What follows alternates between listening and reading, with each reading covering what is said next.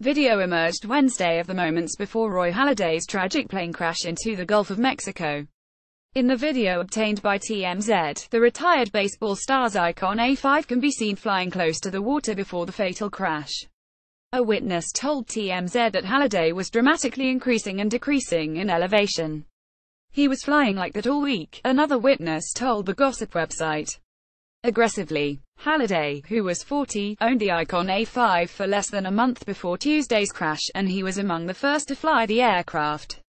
The National Transportation Safety Board is asking witnesses to come forward if they have any photos or videos of the crash. Investigators recovered two data recorders from Halladay's plane to be analyzed, the Tampa Bay Times reported. Drew Hallowell Getty Images The agency said the investigation into the plane crash could take one to two years to complete. Just weeks before Halladay's death, Icon Aircraft CEO Kirk Hawkins had announced new guidelines for low-altitude flying, according to USA Today. There is little formal training required by the Federal Aviation Administration or provided by traditional transportation-focused aviation training programs to adequately prepare you for low-altitude flying, Hawkins said in an email, according to the newspaper. Given this, our goal is to take a proactive, leadership role in the flight training process and we have developed our own low-altitude guidelines from lessons learned over decades of military, seaplane, and bush flying.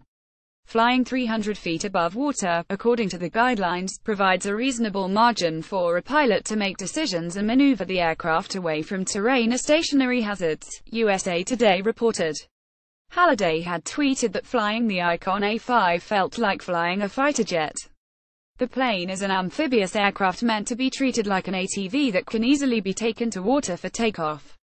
The way that a lot of people described it is a jet ski with wings, Stephen Pope, editor-in-chief of Flying Magazine, told the Associated Press.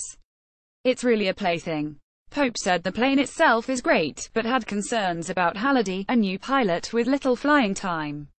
The former Blue Jays and Phillies pitcher had been forbidden to take up flying until he retired from baseball at the end of 2013. With Newswire Services